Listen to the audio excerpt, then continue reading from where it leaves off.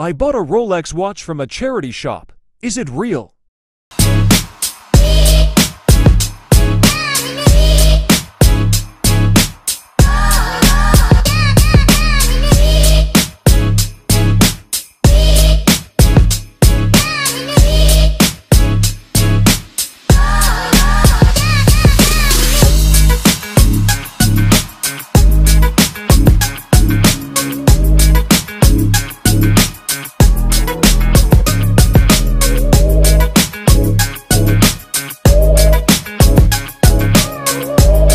No, it is not.